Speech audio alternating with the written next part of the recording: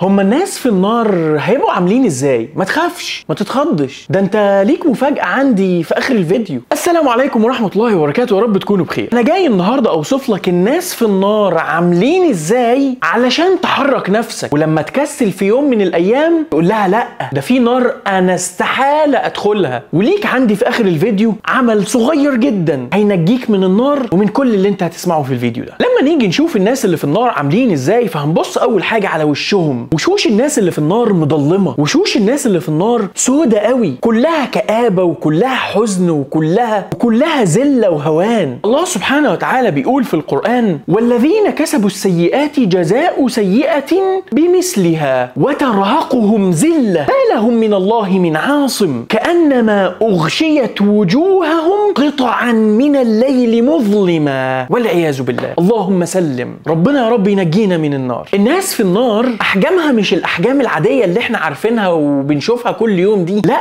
أحجام الناس اللي في النار بتتغير وبتتكيف علشان تقدر تواكب العذاب اللي هيشوفوه في النار ده. عن أبي هريرة رضي الله عنه وأرضاه أن النبي صلى الله عليه وسلم قال ما بين منكبي الكافر من هنا لهنا مسيرة ثلاثة أيام للراكب المسرع عشان تروح من هنا لهنا محتاج تكون راكب عربية على 120 أقل تقدير 3 أيام بلياليهم أنت متخيل الأحجام في النار هتبقى عاملة إزاي؟ اللهم سلم يا رب. اللهم إنا نعوذ بك من النار ومن عذاب النار. جلود الناس في النار مش زي جلودنا العادية دي. أي حتة إزاز أو أي حتة حديدة ممكن تقطعها وتعورها. جلودهم هناك غليظة جدا علشان تناسب حجم العذاب اللي هم هيبقوا فيه. بسم الله الرحمن الرحيم. إن الذين كفروا سوف نصليهم نارا. كلما نضجت جلودهم بدلناهم جلودا غيرها ليذوقوا العذاب. إن الله كان عزيزا حكيما. ولما تيجي تبص على لبس الناس اللي في النار قلبك هيتقبض. وجوارحك كلها أقسم بالله تترعش. لما تعرف إن ثياب الناس اللي في النار من نار. بسم الله الرحمن الرحيم. فالذين كفروا قطعت لهم ثياب من نار. أنت متخيل اللبس اللي أنت لابسه على جلدك؟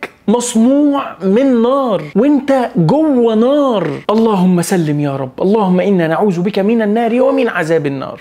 ونيجي بقى لمقومات الحياة الأساسية الأكل والشرب. في النار يا صديقي العزيز كل منطقة في النار بتختلف أكلها وشربها عن المنطقة اللي تحتها. أصل مش كل اللي في النار هيعذبوا بنفس المقدار. كل واحد على حسب عمله. الله سبحانه وتعالى بيقول إن شجرة الزقوم طعام الأثيم كالمهل يغلي في البطون. البطون كغلي الحميم. سيدنا ابن عباس رضي الله عنه وأرضاه بيقول في يوم من الأيام النبي صلى الله عليه وسلم قرأ قول الله تعالى بسم الله الرحمن الرحيم يا أيها الذين آمنوا اتقوا الله حق تقاته ولا تموتن إلا وأنتم مسلمون. وبعد كده قال النبي صلى الله عليه وسلم لو أن قطرة من الزقوم قطرت في الأرض لأفسدت على أهل الأرض معيشتهم فكيف بمن هو طعام ولا طعام لهم غيره؟ رواه الترمذي. أنت متخيل معايا النبي بيقول لك لو نقطة واحدة من شجرة الزقوم دي وقعت على السبعة مليار بني آدم في الدنيا دلوقتي هتفسد عليهم معيشتهم. ما بالك ما بالك باللي بيفطر ويتغدى ويتعشى وكل أكله زقوم. ما بالك اللي ملوش أكل أصلا إلا الزقوم. طيب آه، هو في النار بياكلوا زقوم بس؟ لا لا خالص. بسم الله الرحمن الرحيم. ليس لهم طعام إلا من ضريع. لا يسمن ولا يغني من جوع. الضريع ده يا صديقي هو عبارة عن شو؟ ربنا بيقول لك في القرآن لا يسمن ولا يغني من جوع. استحالة يسد جوعهم بل وبيعذب وبيقطع أمعائهم طب هل الضريع ده هو اللي بيقطع الأمعاء بس؟ لا. استنى عليا انت لسه سمعت حاجة أو شفت حاجة؟ الله سبحانه وتعالى بيقول في القرآن وسقوا ماء حميما فقطع أمعاءهم. يا الله. والماء الحميم هو اللي اشتد حرارته قوي لدرجة إنه أول ما ينزل في بطونهم بيقطع الأمعاء بتاعتهم. وسيدنا ابن عباس رضي الله عنه وأرضاه بيقول في الآية اللي في سورة الكهف وإن يستغيثوا يغاثوا بماء كالمهل يشوي الوجوه. سيدنا ابن عباس لما جه يعرف المهل بيقول إن ده زي بالظبط الزيت اللي من كتر ما اشتدت عليه الحرارة اسود من كتر النار اللي عليه. تخيل إن المهل ده الزيت المغلي من كتر غليانه اسود ده اللي هم بيستغيثوا بيه. ولا حول ولا قوة إلا بالله. اللهم سلم. اللهم إنا نعوذ بك من النار وما قرب إليها من قول أو عمل. اللهم آمين. العجيب يا صديقي إن في وسط كل الأهوال اللي أنت عمال تسمعها دي هم مش متسابين. أنت مش مش أنت ربنا يحفظك ويحفظنا جميعا يا رب. الكافر في النار مش هيبقى حر ده هيبقى في وسط العذاب ده كله مقيد. طب القيود بتاعته دي إيه؟ بسم الله الرحمن الرحيم. إذ الأغلال في أعناقهم والسلاسل يسحبون. مربوط من رقبته ومن إيده ومن رجله وعمال يتسحب في نار جهنم. رعب.